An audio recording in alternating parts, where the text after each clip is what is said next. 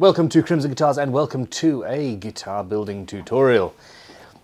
One of the things that everybody, I am constantly asked, is how the hell do you sort out the neck break angle uh, when you're building anything? Because most guitars require that your neck is angled back to account for the strings, the string height and the bridge, etc. And uh, I must admit, I stole this particular trick from one of my luthiers, Tom, so he should probably be doing the video, but uh, he doesn't want to. So, uh, so here we are. And essentially, this is a very, very easy trick that allows you to, uh, to get the, the correct break angle uh, planed into, or at least you don't have to use a plane, there are other methods, but I will say planed into because that's what I'm going to show you. This is an easy way to, to, to put that correct angle into your guitar body. And it is using a bit of wood and a hand plane. Or, if you happen to have it, a giant uh, Triton power plane. So I'll show you that one as well, just for fun. What we have is on, on guitars with Tune-o-matics or, well, most instruments, the string height above the body for example, on this is going to be about 17 millimeters. And you have to angle your neck. If it's perfectly flat, then your, your strings end up three or four millimeters above the body. Generally, so for example with a Les Paul, you're talking about a two and a half mil or a two and a half degree or a three degree back angle. And uh, when you want to work out what that should be, it, the best way is to, uh, to actually draw full-scale plans, draw where your strings are, draw your bridge in and your top. However, there is another way. Our bridge, if it's a standard Tune-o-matic, is say 17 mil high. If you've got a couple of mil adjustment, which you should always have, that then makes it 19 millimeters. Now what you need to do is take a little piece of wood, plane it down until it is that 19 millimeters minus the height of, whoops, minus the height of the fretboard including frets. So it, eh, 90 millimeters minus say 8 mil. So we want an 11 millimeter piece of wood in this case. Now, using the fantastic masking tape trick, I'm going to stick this down where the bridge needs to sit. Okay. Now, if you haven't seen our masking tape trick yet, go and watch the video. It is fantastically, fantastically useful. Burnish it down. In this case, I'm not after massive holding power. Uh, with this trick, you can actually you can actually hold things onto CNC machines if you like, and uh, and it's most incredibly useful.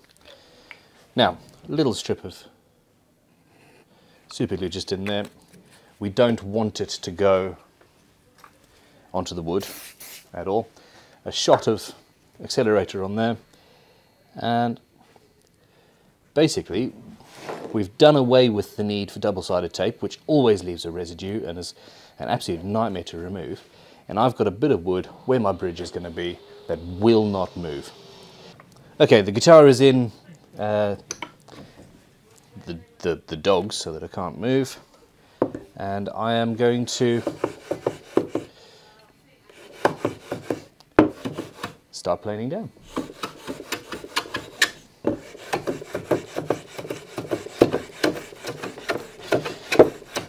In this case, I've already, this top is actually CNC, the outline is CNC'd and uh, we already have our pickup cavities and our neck break or our neck pocket routed.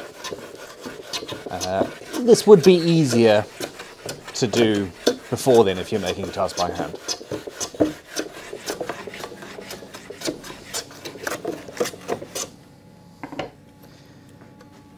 And this is uh, coming along quite nicely now. So we have a, a break angle and as we go down at this point, the angle changes, obviously, but we will end up with something that will work. And you don't have to do any maths, which is uh, all right in my book.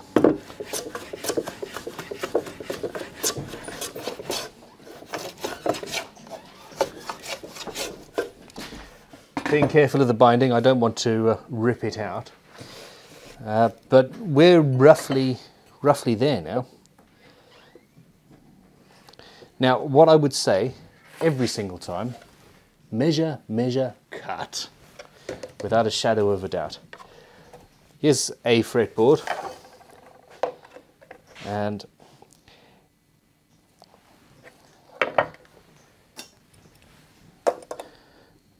it's in slightly the wrong place, but uh, we'll, we'll go with that. Now, at this level, and being further forward, my strings line up. I have a few more, uh, a few more mil to uh, to cut, but for the purposes of this demonstration, I'm uh, I'm really happy. I'm going to finish this off and uh, and we'll come back.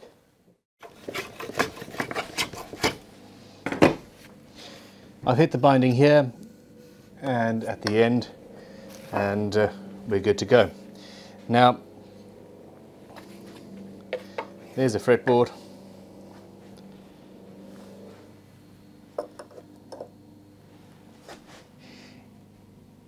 I have a couple of mil.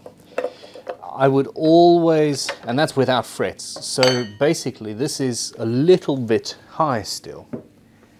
Get another plane out. Take a little bit of material off here and I'm changing the angle and doing that my long plane is going to be cutting here rather than along the whole length. Changes the angle a little bit. And uh,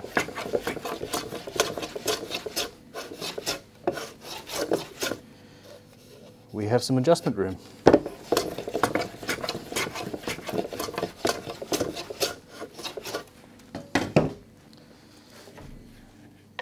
The end result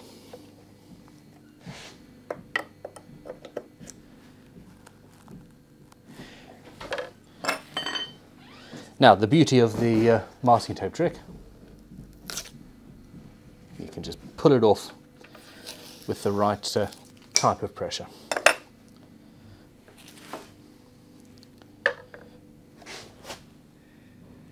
I have several mil to play with and uh, I think I'm actually going to take a little bit more off still, off in this central piece. You don't need to watch that though. And there we have it. It's a very, very easy, quick, straightforward uh, way of uh, getting a break angle. Aha! I asked them to send up this. If you are, if you want to do this a little bit quicker, this is a mental mental plane, magnesium bodied, seven inch blades, and uh, yeah, that is a power tool. And uh, it sounds like an air raid siren, and this is what uh, Tom actually uses, at least for the roughing out part of, um, of this job when he's doing it without binding. And uh, then he'll move on to a long hand plane.